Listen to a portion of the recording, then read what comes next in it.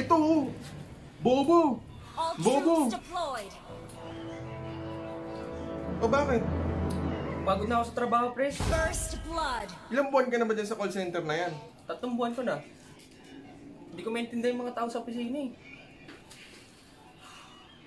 Alam mo kasi, may sampung klase ng mga call center agent.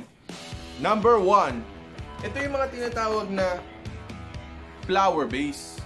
Sila yung mga empleyado na walang kinakausap sa loob ng opisina. Walang kinakausap. Walang kinakausap. Pumapasok lang sila at ginagawa nila yung trabaho nila tapos uuwi sila.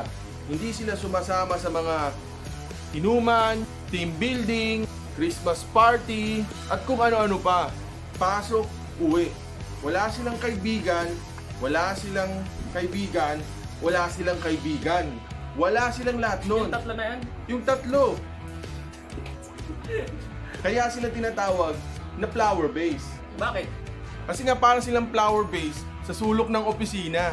Walang pumapansin at di namamansin. Number two. Ito yung tinatawag na knowledge base. Knowledge base? Knowledge base, sila yung tipo ng tao na alam nila yung process pag-transfer sa ganitong department, escalation, pangalan ng TL, pangalan ng kapitbahay. Alam nila lahat? Alam nila lahat. At pag may tanong ka sa iba, Dear, dear, question. Ano ba yung tawag na sa... ganito yan pre. Ganito gawin mo, square root of 2 times 11 cannot be. Ganon. Can I borrow? Oo, sige na. Number 3.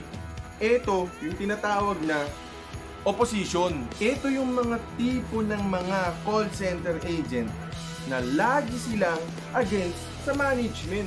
Galit na galit sila sa lahat-lahat, pamamalakad ng lahat-lahat.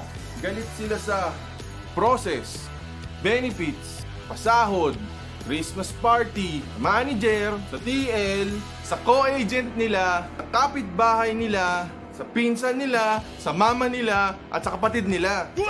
kinakayawan nila. Galit sila sa lahat. Ay boss, Magpapalit ka ng schedule mo ha. papalit boss. From, ano ba day off mo ngayon? Ah, Saturday, Sunday po. Okay, gagawin natin Friday, Monday. Okay? Friday, Monday? Ano yun? Ako na lang lagi? Ganun na naman schedule ko, split off. Lagi na lang ganyan. Nakakainis. Lagi na lang silang tama. Lagi sila na lang de-decide. Lagi na lang ako nag adjust Lagi na lang akong nagre-reklamo. Ah, lagi na lang ako, no? Na na na na, na na. Number 4. Ito, ang tinatawag ko, the administration. Sila yung kabaliktaran ng opposition. Itong mga taong to, lahat ng iutos, lahat ng ipagawa, lahat ng task, yes boss sila. Amazing! Boss. Anong schedule mo ngayon? Monday to Friday, Saturday off ko. Okay, simula next week, once a month ka na lang magde-day off ha. Every 31 ng buwan. Noted po. Yes, boss. Yes, yes. Parang isang paiwati. Once a month. Number 5. Ito, yung mga tinatawag na hopper. Sila yung mga klase ng empleyado na hindi makontento sa iisang kumpanya. Kapag nakakaramdam sila ng hirap, ng pressure, at kung ano-ano pang negative, magre-resign sila at maghahanap sila ng bagong call center.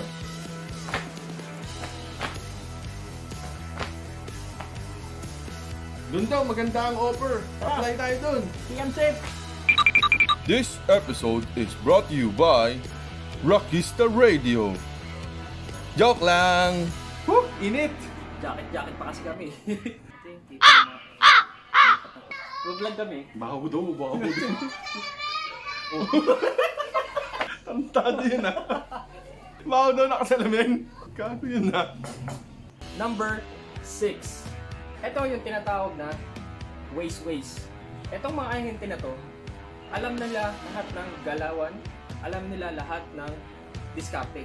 Dahil na-master nila yung art of GT. Art of GT? Ano yun? Galawang tenured.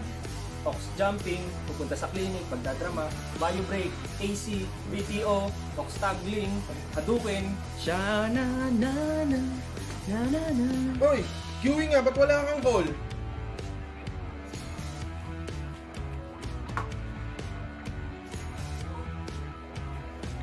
Siya na na na, na na na. Uy! Siya wala ka pa rin call? Ayusin mo nga.